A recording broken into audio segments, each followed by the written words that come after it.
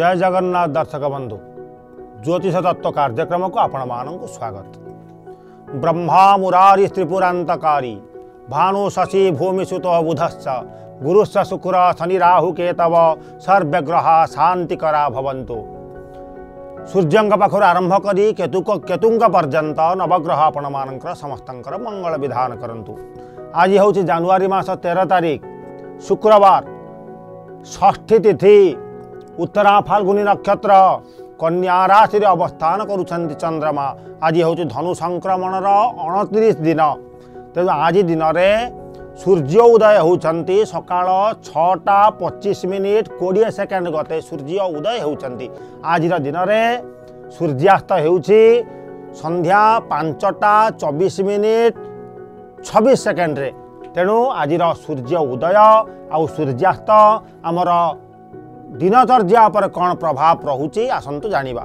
ଆଜିର ଦିନରେ ବିଛା ରାଶି ଧନୁ ରାଶି ଆଉ ମୀନ ରାଶିର ବ୍ୟକ୍ତି ବିଶେଷମାନଙ୍କ ପାଇଁ ଘାତ ବାରର ଦିନ ଆଜିର ଦିନରେ ବୃଷ ରାଶି ପୁରୁଷ ଓ ଧନୁ ରାଶି ମହିଳାମାନଙ୍କ ପ୍ରତି ଘାତ ଚନ୍ଦ୍ରର ଦିନ ତେଣୁ ଆଜି ଦିନରେ এই ଘାତ ଚନ୍ଦ୍ର ଘାତ ବାର ଥିବା ରାଶି ବ୍ୟକ୍ତି ବିଶେଷମାନେ ଆପଣମାନେ କୌଣସି ଆଘାତ ପ୍ରାପ୍ତି ସ୍ଥାନକୁ ଯାଆନ୍ତୁ ନାହିଁ କୌଣସି ରିସ୍କଫୁଲ୍ ଜୋନ୍କୁ ଯାଆନ୍ତୁ ନାହିଁ ଆଜି ଦିନରେ ବାର ବେଳା ଆଉ କାଳ ବେଳା ଦିବା ନଅଟା ଦଶ ମିନିଟ୍ ଗତେ ଦିବା ଏଗାରଟା ପଞ୍ଚା ମିନିଟ୍ ପଞ୍ଚାବନ ମିନିଟ୍ ମଧ୍ୟରେ ବାର ବେଳା ଆଉ କାଳ ବେଳା ରହୁଛି। ଏ ବାର ବେଳା ଆଉ କାଳ ବେଳା ଭିତରେ କୌଣସି ଶୁଭ କାର୍ଯ୍ୟ କରିବା ପାଇଁ ବାରଣ କରାଯାଇଛି।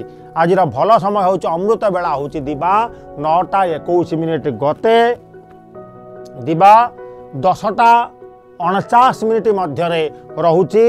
ଅମୃତ ବେଳା ଆଜିର ମାହେନ୍ଦ୍ର ବେଳା ରହୁଛି ଦିବା ତିନିଟା ସତାବନ ମିନିଟ୍ ଗତେ।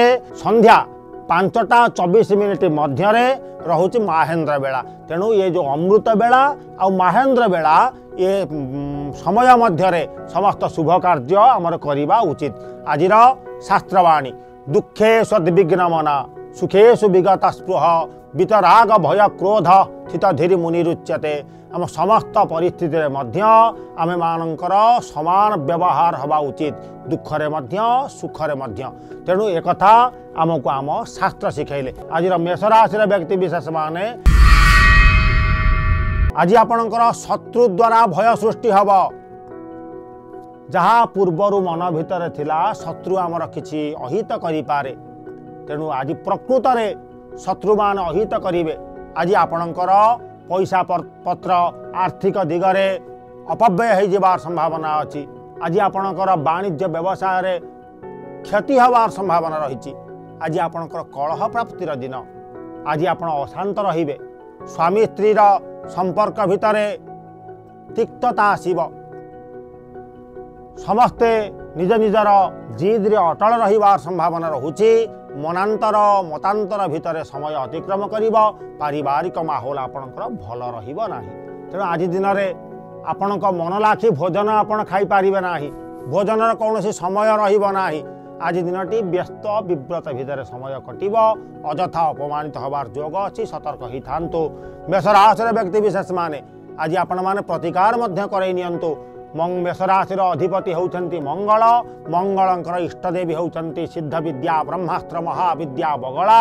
ये बगलामुखी बतीस अक्षर मंत्र जप करूँ दिन की आपणकर शुभमय मंगलमय रंग ह्रीं बगलामुखी, सर्वदुष्टानं वातं मुखं पदं स्तंभय जिह्वां कीलय कीलय, बुद्धिं नाशय।